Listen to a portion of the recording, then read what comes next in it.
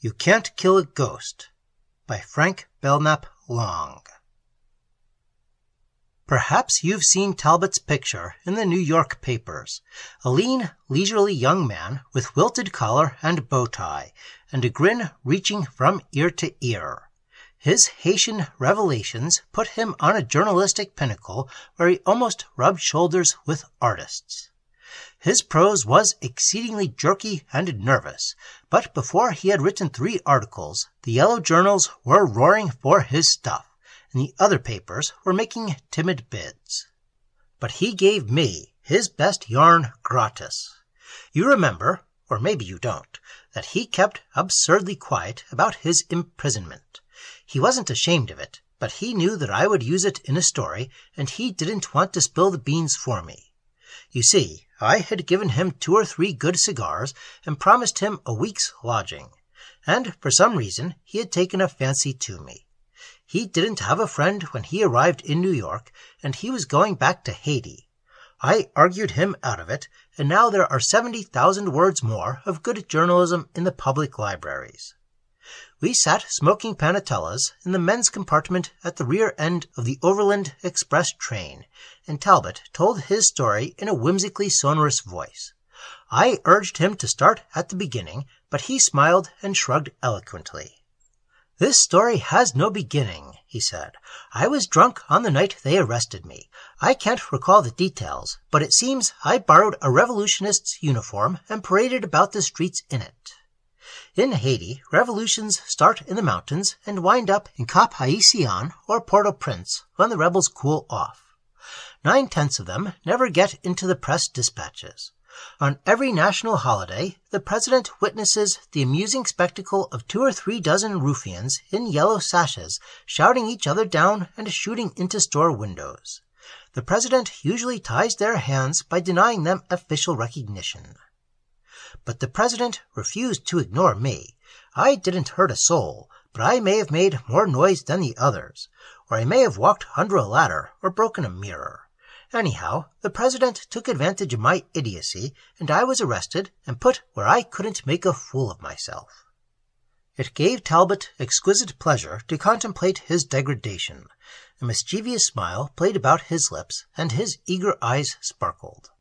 The jail was a ramshackle and disgusting affair, and I shared my cell with two revolutionary generals. A revolutionary general in the Black Republic has absolutely nothing to commend him. He is a low creature, and his philosophy of life is terrible. He is a fatalist, and he wouldn't cross the street to avoid being shot at. And he is unthinkably dirty. My companions never washed. Their beards were six inches long and there was no difference in their appearance.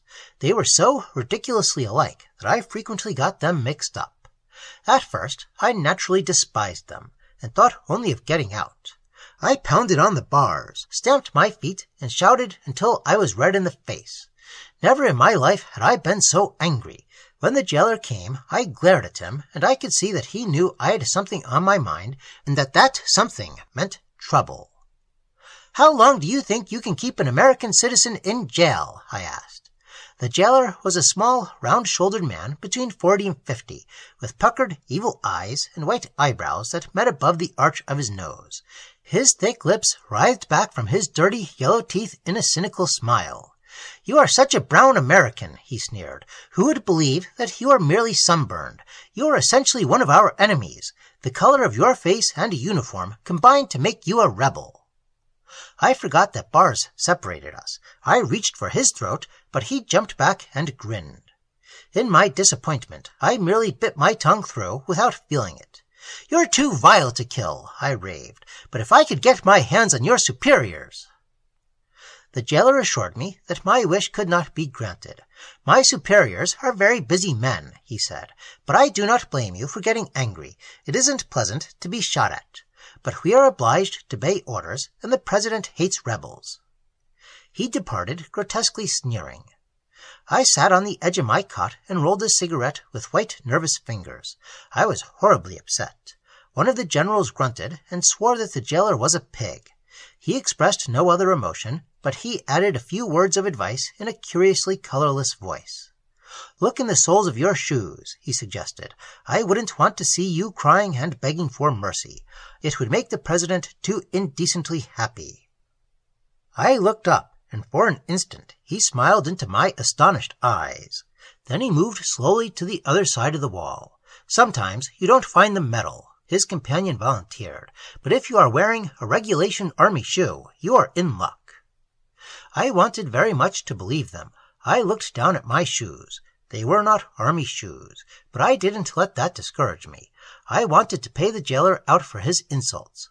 I laughed when I thought how angry and disappointed he would be to find the bars sawed through and the bird flown, the American bird.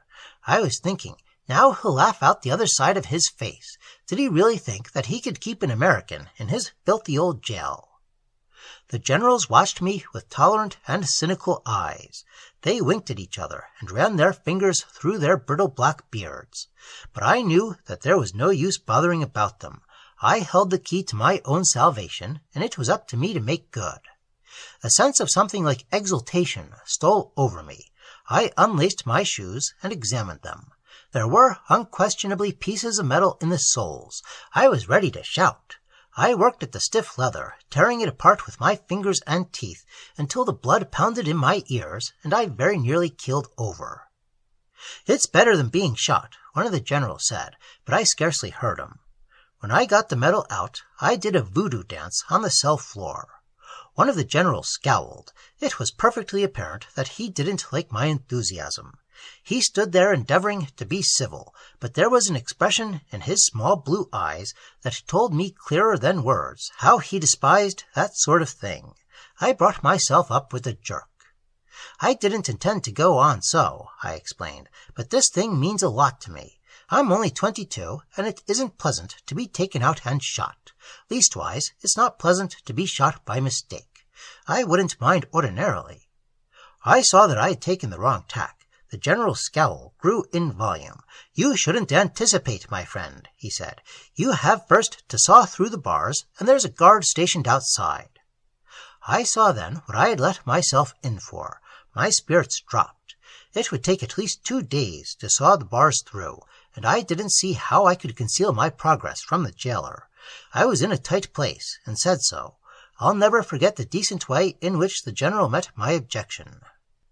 You mustn't eat your bread, he said. Rub it on the floor when the pig isn't looking, and use it on the bars. But after that he got pretty silent, and I couldn't persuade him to escape with me. It is very easy to die when ten men shoot at you at the same time, he said, and his companion added that life was a very stupid affair. Naturally, their logic repelled me, but what could I do? I didn't like the idea of leaving them there to shoulder the blame, but it was no good arguing with them. When a Haytian's mind is made up, it is made up. I told them to think of their wives, but when they swore at me, I gave it up. The jailer seemed to suspect something when he brought the bread, but I didn't give him half a chance to talk to the generals. I hung on to the bars and insulted him until I was blue in the face. He put the bread on the floor and looked inquiringly at the generals. I think that he was amused and a little frightened. As soon as he left, I seized my portion of bread and rubbed it on the floor until it was blacker than the president's beard. Then I kneaded it between my fingers. The generals watched me indifferently, and I knew that they grimly appreciated the silent comedy of an American endeavoring to escape from a Haytian pigsty. I made a violent effort to control myself, and went to work on the bars without so much as a groan to let them know what I was suffering. My heart kept coming up in my throat and flopping over. I couldn't forget the risk I was running, and I began to fear. I'd funk the job sure. There were five bars, and the window was two feet broad and eighteen inches high. It would be necessary to work against time, but I figured it wouldn't take me more than two days to get out. I'd forgotten that a man has to eat and sleep. Sawing through bars is the hardest kind of work, and no man can stand it more than eight hours on a stretch. I worked steadily for six hours, and all the time the generals were snickering and comparing notes behind my back. However, I tried to keep thinking of what I would say to the consul when I got out. I didn't even stop to drink. My right arm got so devilishly stiff that it almost killed me to move it, but I wasn't going to weaken before those generals. At the end of nine hours, I got dizzy and weak. I had a small pocket mirror, and when I looked at myself, I found I was yellow under the gills. The water was running in streams down my face, and I had sense enough left to quit, after smearing the bars with the sooty bread to conceal what I had done. I had filed completely through one of the bars, but before I had time to congratulate myself, I found myself on the floor in a heap, and my brain getting cloudy. Twelve hours later, one of the generals kicked me awake and told me that I'd nearly spoiled my chances. The jailer hadn't been able to discover anything, but my exhaustion had puzzled him. He had poked into corners and questioned the generals, and he had come near to trying the bars. I had a queer, dizzy feeling in my head, but I had no intention of taking a day off. I set to work on the bars again, and by the end of the day I had sawed through the second one. My fingers were bleeding and my brain reeled, but the generals didn't say anything to encourage me. But I felt that my luck wasn't bad under the circumstances, and maybe I wasn't happy when I thought of how I would fool the jailer. By sundown the next day I had completed the job. The generals stared and shrugged their shoulders and urged me to escape immediately. I rolled a cigarette and puffed it until I had made a halo of blue-gray smoke about my head. I felt like a hero standing there before those indifferent fools.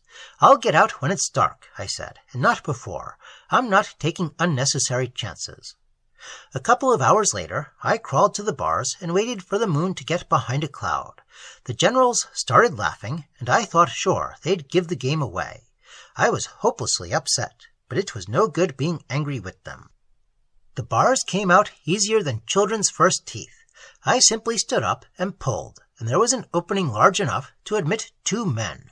In a moment I was halfway through the opening, and wishing that I'd been more civil to the generals. But I might have known there would be a hitch somewhere. My coat got caught on a nail, and I stuck. I wriggled and wriggled, but I couldn't get my legs over. I lay wedged between the bars, and things began to look pretty black. At any moment I might be discovered by the jailer, and the generals wouldn't be any help to me. And then I did a foolish thing. I struggled until something snapped, and a sudden pain gripped my right leg. I groaned aloud, and to make matters worse, the moon came out and flooded the clearing with light. And then I saw him. He was standing against the wall, swaying absurdly back and forth and drinking out of a necklace bottle. At first he did not notice me, but when his eyes finally rested on my agonized face, he removed his great hat and bowed. Another newspaper man, I presume, he said. Our little revolution certainly makes copy. But personally, I don't think we're worth it. This is strictly between you and me, you understand. Do I look like a newspaper man? I snapped. I was in no humor to discuss trivialities with him. I could see that he was absurdly drunk, but it did not occur to me that I might find him useful. Permit me to introduce myself, he continued. I am the President's right-hand man. Some call me his shadow. He couldn't get along without me. We have too much in common. And yet I am but a pale reflection of his greatness. I am called Enriquez, but to you, who are an American, it shall be Henry. I should not even object to Harry. It seems that we are endeavoring to escape from prison. I can sympathize with the gesture. All human beings desire liberty. I myself have longed for liberty. They would not even permit me to drink the rich red wine. It was necessary that I set the army a good example, but I fooled them. Today I am as free as the air, and I have no responsibilities. I have escaped from my prison. Shall I help you to escape from yours? Why should you? I roared. Why don't you call the guards and have them put me back again? He smiled good humoredly. That would be such a waste of time he said. And besides, the guard might shoot you. I shouldn't care to see you shot. Is it not strange how I differ from the President? The President hates rebels, and yet I am his shadow.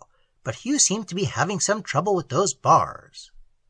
He suddenly became serious, and stepping quickly forward, he looked me straight in the eyes. Do you really wish to escape? he said. I nodded and groaned. With every drop of blood in my body, I said, I wish to escape. They have promised to shoot me. I am only twenty-two, and at my age it is not pleasant to be shot. He nodded sympathetically. I think I can help you, he said. I do not wish to make any promises, but I think I can help. He stepped forward and seized one of the remaining bars in his hairy hand. I saw the muscles of his enormous arms contract, and a hard, set expression came into his face.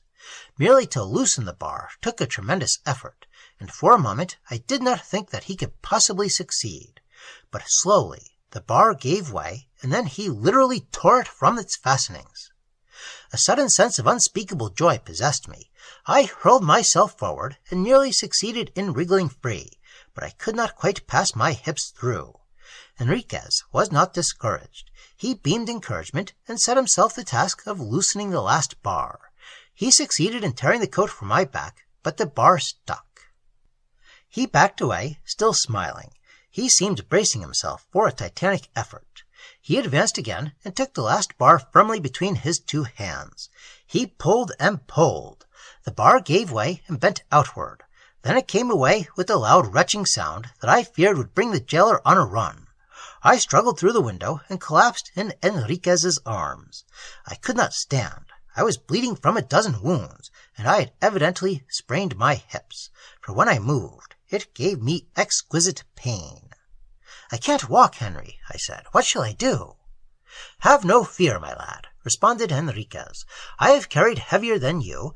There is an American ship in the bay, and if we hurry, I can put you on board before dawn. What do you say? I nodded a silent approval. Enriquez laughed and lifted me on his huge shoulders. He made as if he would pick up the discarded bottle, but then he wavered and kicked it aside with the toe of his boot. The president would have been very angry, he chuckled. With rapid steps he left the courtyard and proceeded cautiously along a white road. No doubt he found me heavy, for he stopped from time to time to mop his brow with his coat sleeve. The president, he kept muttering, would never have understood. Stop there! A blue-coated sentry stood on a muddy embankment and challenged Enriquez with a leveled gun. Enriquez stood very still in the center of the road and whistled. Don't you know me? he vociferated. I'm on official business. Let me pass. The sentry scowled. What have you got on your back? he asked. I heard Enriquez curse under his breath. Mind your own business, my friend, he said, and let me pass. It is evident that you do not know who I am. You're a traitor to the president, said the sentry. You carry upon your back the rebel traitor who calls himself an American. Enriquez suddenly crouched in the road. I felt his body grow taut beneath me. The muscles of his great arms tightened. He hissed through his teeth. Cautiously, he advanced a few paces toward the embankment. Stop! ordered the sentry. But Enriquez did not stop. He dropped me like a leaden weight and sprang forward. I rolled into a muddy ditch and lay still. My whole body was one great wound. My teeth were knocking together like billiard balls. I heard a brief gasp, and then a torrent of frightened words issued from beneath the embankment. I thought you were a man. For heaven's sake, pity me. I didn't know. I didn't. So help me God. Please don't. I beg of you on my knees to pity me. There followed the sounds of a scuffle, terminating in a prolonged scream, Ah! Another moment, and Enriquez was picking me up. It's all right now, lad, he said. I'm sorry I had to drop you, but it was the only way. We passed through gray, deserted orchards and along horribly muddy roads. Once a shot rang out behind us. A tremor passed over my friend's huge form, and he whistled through his teeth. Another guard, he muttered. The president was unduly cautious. But I cannot blame him.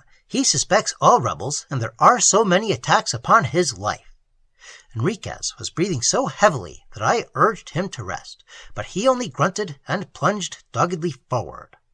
I can assure you that we were welcome on board the American ship. We were toasted and treated like kings, but it took some time to discover that Enriquez had been shot through the chest. He was a sly dog, was Enriquez, and his wound didn't bleed. Even the captain did not suspect. But he collapsed in the arms of the mate when he attempted to leave the ship. He died? I asked. Talbot threw away his cigar and laughed. Nothing could kill Enriquez, not even a bullet. But I never saw him again. He slipped overboard that night and swam ashore. Did the president forgive him? I asked. Talbot grunted Enriquez was the president, he replied. I stared. But that isn't all of my story, he continued. I said nothing could kill him.